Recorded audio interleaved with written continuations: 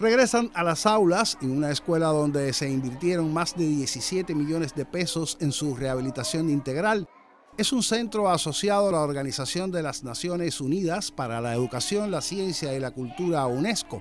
Les motiva el mismo compromiso a estudiantes y maestros. Continuar avanzando en la calidad del proceso educativo, que se revierte en más calidad en el aprendizaje de los estudiantes, en la formación ideológica y también desde el punto de vista general, lo que en este sentido debemos, debemos lograr.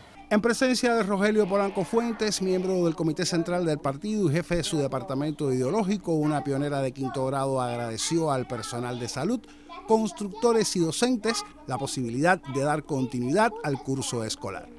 El reconocimiento a organizaciones y organismos que participaron en el empeño por decisión ministerial, educadores de Cienfuegos, recibieron la distinción por la educación cubana.